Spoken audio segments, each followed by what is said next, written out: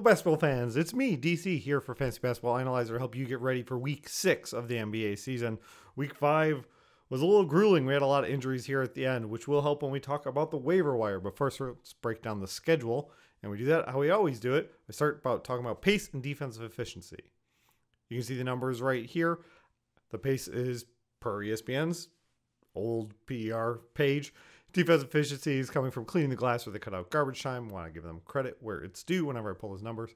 So up top, teams in the green are the teams that are playing the fastest and or with the worst defense. We use that combo to see who we want to go after. So you want to play against San Antonio, Detroit, Houston, Sacramento, Denver, Golden State. I don't think is too shocking. The Knicks, just outside that range, Indiana, right? This all makes sense. Teams you want to stay away from Clippers, Dallas, Milwaukee, Philly, Cleveland, and then Portland still hanging in there. Strong defense, surprisingly strong defense, especially considering what Portland has been in prior years. But also their pace is just a little bit slower, which isn't what I would expect. So we take these and we go ahead and apply them to the week six preview, which you'll see right here. So it's important to know that this week we've got three teams with only two games. We got Charlotte, we got Houston, we got Toronto. So you want to be careful there, especially if you're in weekly lock league. They're basically useless.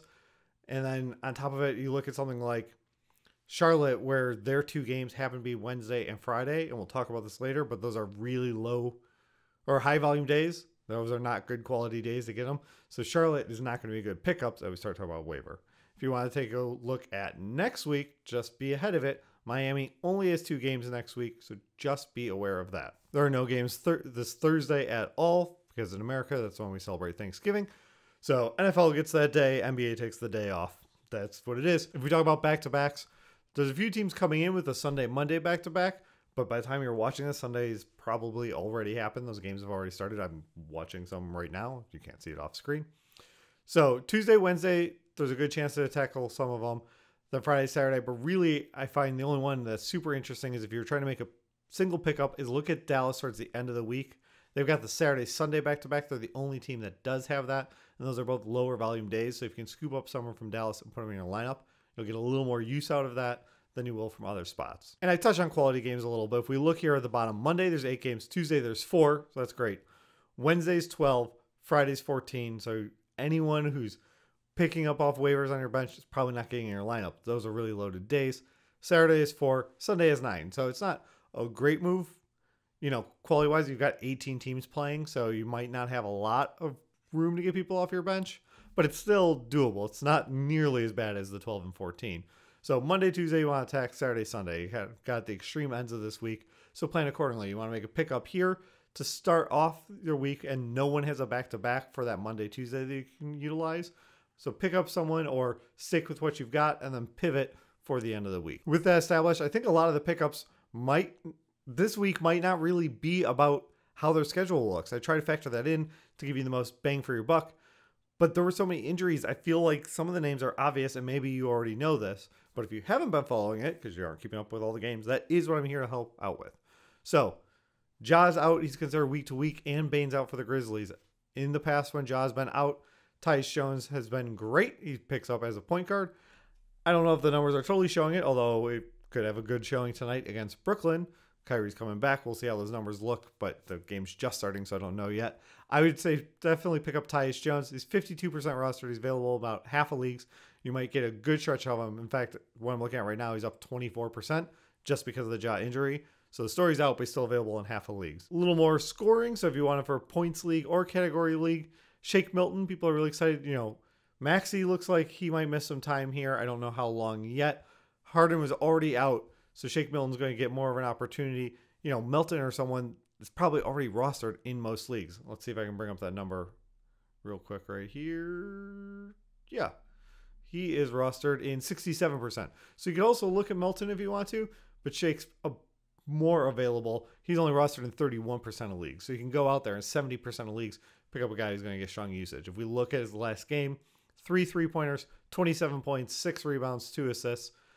Good percentages here. I like him more in a points league than a category league, but I think he's useful either way. I mean, if you're going to do 27 and 6, great, go for it. You pick him up and you ride with him as long as he's got the extra playing time. Jumping back to the Grizzlies, I probably should have said this. I would also look at John Konchar's 20% rostered, so you can give him about 80% of leagues. Last game he had 19 and 10 with five three pointers. So you get a little forward eligibility out of this because a lot of the guys I was talking about were guard, or if you need even a big, not a shocking new name, but Santi Aldama. It's different now because Triple J is back, but Triple J also still going to be resting as he's just coming back from that leg injury, right? So he'll still get some plays. Last game, Santi had 15 and 7, three three pointers. It was against OKC, so that's pretty nice. I think it'll be inconsistent, but if you do need a power forward center, I think you can go for it. They do have three games this week, only one on the streaming day. But there are some minutes to spare for Memphis right now. So I think any of these guys have a chance to give you a little more upside than you might normally expect. Sticking with the power forward position, you could give Torrey Craig a look for the Suns. He's getting some extra time right now because campaign is out.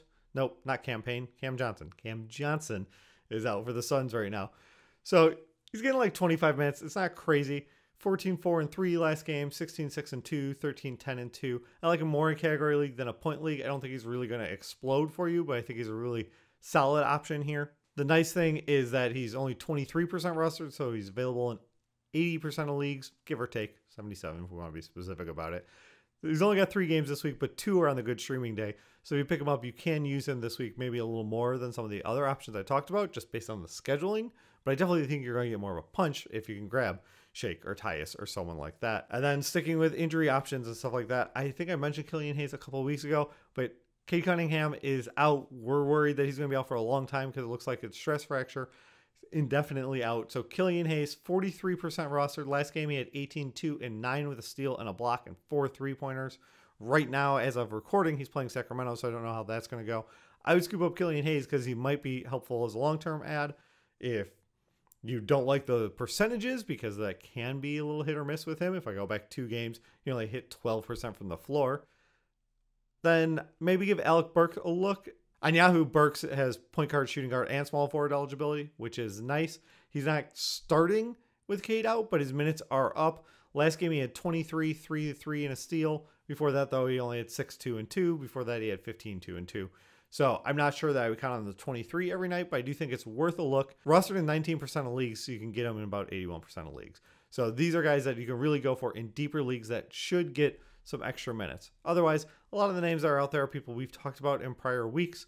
You know, you can still look at Bruce Brown. Denver doesn't have a great schedule. He's playing all right, but maybe he's a little inconsistent. I'm really focusing my energy on where the players got hurt. I want these the spike potential for these extra minutes. If you have anyone else that you're curious about, leave a question down below or hit me up on Twitter. Happy to answer your comments or trades or anything like that. Hope week five went well for you. You know what I want you to do? Go out and win your week. Thank you so much for watching. If you've made it this far, please hit the like button and leave a comment down below. It helps me grow the channel. If you want more videos like this, hit subscribe or even the little bell will give you alerts. And I'll be back soon with another video for you.